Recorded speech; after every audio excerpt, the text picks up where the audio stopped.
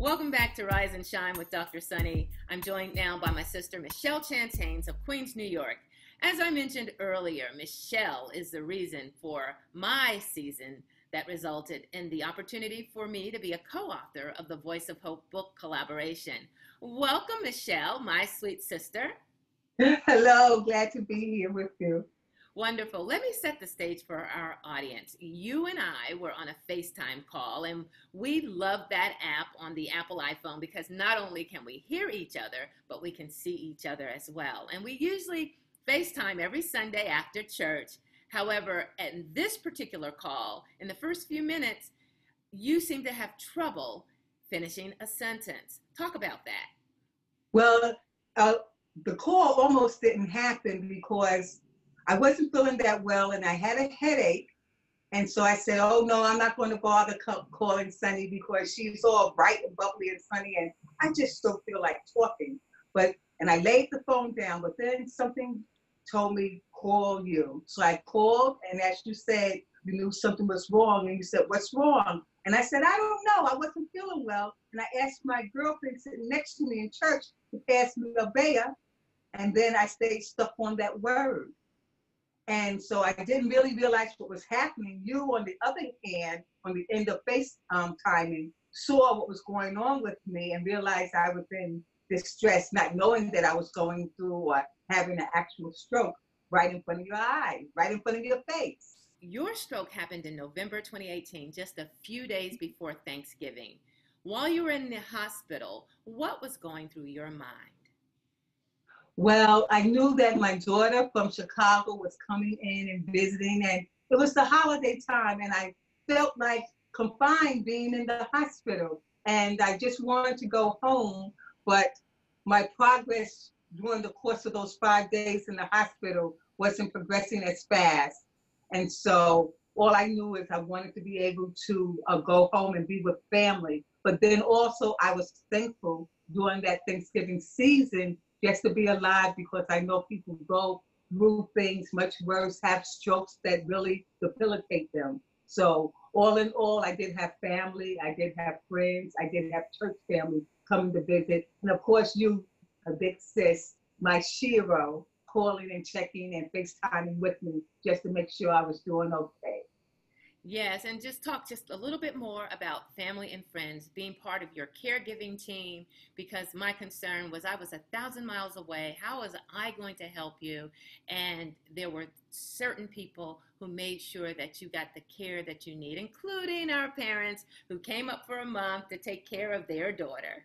Yes, yes. Well, uh, my son lives with me, but he was at the job, so he wasn't home.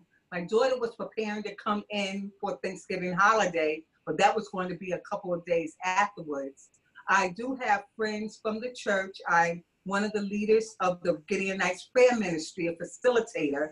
And actually, on that Sunday, I was in the side wing on my task, on my post, praying for others during the church service. But I knew I wasn't feeling well, and then a couple of my friends were sitting in the fire loft trying to get my attention, texting me. But of course, I don't look at my phone during the church service unless I'm on a Bible app because they saw me holding my head down and just swaying from side to side and they were trying to get my attention. But I wasn't um, really cognizant of that and everything I was going through. I just knew that I had a headache. But besides that, I have, as I said, the prayer ministry. I have some family friends. I have my girlfriend of over 50 years once she knew um, I was in the hospital, took a personal day to, to come out and relieve my other sister, Shay, from the hospital and spend the whole time with me uh, to go through tests. I have my aunt and uncle who were finishing up with a church service and wanted to come out, but I did tell them I had someone there with me um, my daughter Tiana immediately changed her flight plan to make sure that she can come in earlier than she was supposed to, and and uh, my friend, my other friends as well, who came to check on me as well. I'm so happy that you have this caregiving team, and it didn't just happen the week that you were ill. It has continued on, and I'm I'm happy for you. Yes. How has this illness, because you suffer both from a stroke as well as heart disease, how has it changed your life? Because in the book, you talk about it being your new normal.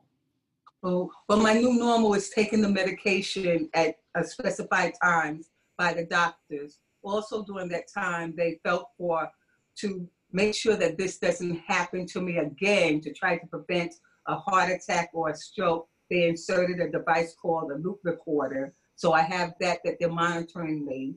I have an electrophysiologist who uh, handles um, the device monitoring. I was assigned a caseworker around a month ago, so they still have people checking in on me. And so going to the doctor really has changed a lot. But one of the best things about it is with the loop recorder, I don't have to go in as often because they I upload, or rather this information is uploaded through the monitoring device that is at the side of my bed every night at midnight. And so it goes directly to the hospital, LIJ hospital, where they're monitoring me. And if they see anything um, erratic regarding my arrhythmia, they contact me and say, what was going on? How are you feeling? And everything like that. And so just making sure that I take the medicine um, each time. So on my phone, I have an alarm and it goes off seven o'clock in the morning, eight o'clock in the morning, 7 p.m. in the evening, and then again at 10 o'clock so I can take the specified doses. So that's one of the things that I know I have to do. My new normal of taking the medicine. And how has your faith impacted your recovery? Well, I know that God is great. I know that He is a healer. And so I do have the Gideonites Prayer Ministry who are constantly praying for me in season and out of season. I have my pastor, Reverend Victor Tyrone Hall Sr. from Calvary Church, who always is placing a text or he checks on me. And um, when I do come to church service, because there was a while I wasn't going to church, when I was there, he would make a uh, mention.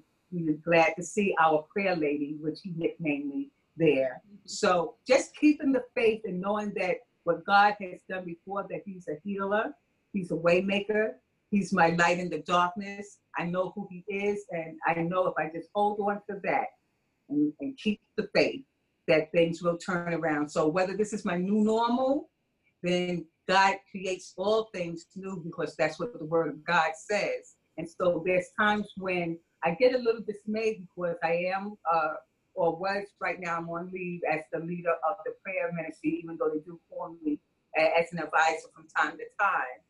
I just know that God continues to uphold me with his right hand of righteousness. And so I get may get dismayed from time to time all those times that I prayed for so many others, and I know the word of God, but sometimes you could waver in your faith a little bit. So I think of the word that comes out of the book of Mark 9, verse 23 to 25, that says, God, I believe, but help my unbelief. Because sometimes, even though this isn't as bad as how others have, I'm used to being on the go. And sometimes it has slowed me down and I can't do some of the things that I'm used to doing. And so I have to think of all those things that led up to the stroke because there were several warning signs which I kind of ignored. And then once um, I had the stroke, I did a, a lot of uh, research on the internet and uh, looking up uh, the symptoms. And every time the doctors would diagnose me with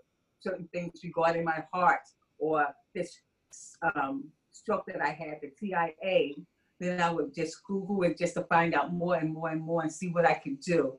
My son, I'll tell you that uh, he's not too keen on all the medicine, and so he wants to go the health um, the health route, and so he's uh, constantly giving me uh, these health smoothies and trying to make sure I change my diet and eat the right type of food. So uh, my new normal is watching my diet as well. So that takes a little getting used to since I'm a Southern girl at heart and I love to eat certain things, especially when my mom comes and visits. But I do know that I have to help myself as well. And finally, I know that you are on your own recovery, but being that you are a prayer warrior, what words of encouragement might you have for someone who's going through um, their own illness and struggles. What could you say to them, my dear sister? Well, as people who like to give care, let someone who cares about you give some care to you. Don't try to shut them out because I know there's times excuse me, you know, that I may do it. So if I can encourage somebody else to say, if someone wants to help you, if a big sis a thousand miles away wants to give help and make suggestions to make life easier for me, let them, let them in. Don't let them out, but let them in. Share the light, let them share the light with you. Let them encourage you with the hope, because we know that our hope is built on nothing less than Jesus' blood and his righteousness. And that, with him upholding us with his right hand of righteousness, we know that we can conquer anything together. Thank you so much for sharing and, and your, thank you, thank you. Your authenticity, my sister. On the last page of my chapter, I got this uh, scripture from you, and I put it in the book. And I said, as I continue in my caregiving journey, my prayer for my sweet sister Michelle and your loved ones comes from Romans chapter 15, verse 13. May the God of hope fill you with all joy and peace as you trust in him so that you may overflow with hope. And my sister Michelle, I am overflowing with hope that God will continue to bless you and yes, thank you. And that I pray that you get better and better. And I'm looking forward to this weekend's FaceTime call and know that I love you. Okay. Love you more, sis. Thank okay. you, big sis. Thank you very much. Okay. All right, everyone. Bye bye. The Voice of Hope, Inspiring Untold Stories book is for caregivers who seek to reduce the stress that come with caring for an ill or disabled loved one while living a life with purpose. I'm blessed to be one of 12 co-authors with stories we hope will inspire and help you to overcome the burdens of your caregiving journey. To purchase a copy, go online to drsunny.voiceofhopebook.com. All lowercase. I'll spell it out.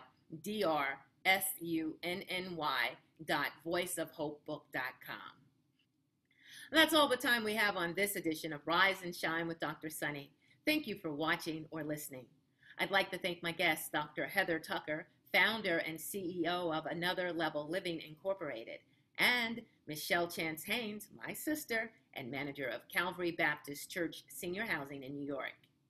The mission of WYTV7 Christian Broadcasters Network is to empower CBN broadcasters to share amazing stories of our guests and give you information that will educate, empower, and encourage you.